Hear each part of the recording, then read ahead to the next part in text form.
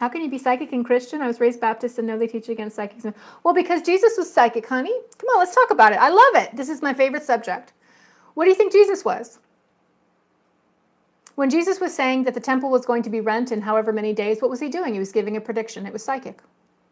When Jesus went on out onto the mount uh, during transfiguration and he talked to Elijah and was it Moses or Enoch? I think it was Elijah and Moses. He's talking to dead people. He's a medium. Jesus said, Greater things than I do will you do.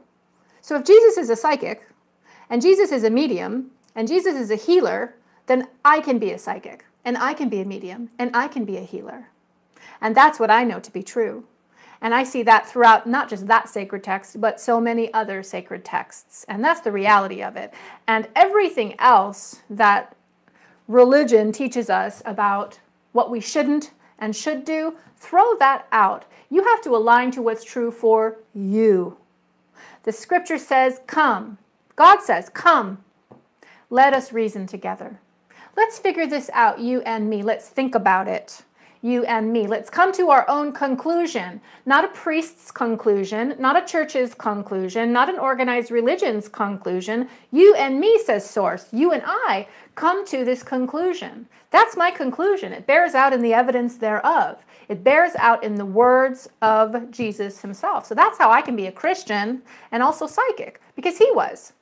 Don't get me started. You know, I love to talk about some Jesus up in here. but I mean, I, I think Jesus and church and God are such triggery subjects where people have deep programming, like embedded programming that keeps them sometimes from really hearing what you're trying to say. And so I might be talking in the language or the story of Jesus or in a story of Buddha, but somebody hears that and has to filter it through their reactions to their own programming, so they don't necessarily receive it. But I am a, I'm a Christian. I'm an esoteric Christian. I am not an organized religious Christian, but I also consider myself somewhat a Buddhist. And I love me some Hindu gods. Come on, Lakshmi, come through. I love all of it. If it serves me, I'm here for it. If it doesn't, I release it. I can do that. I'm in control of my reality. I am, period. I am. Right, the prophets were psychic. What was Samuel doing when he's picking David as the next king or when he's, when he's picking Saul? He, and what's Saul doing when he goes to the witch of Endor and he and she uh, he asks her to conjure up Samuel? You know, he she actually conjured up Samuel. It wasn't a demon. The Bible doesn't say it was a demon. It was Samuel. It's that's what the, the, it's it's all in the realm of what's possible. It's just whew.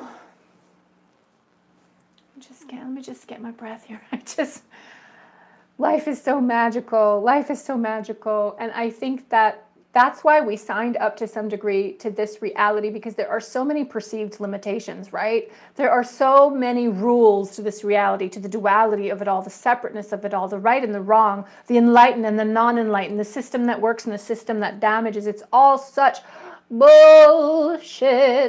It's all such bullshit because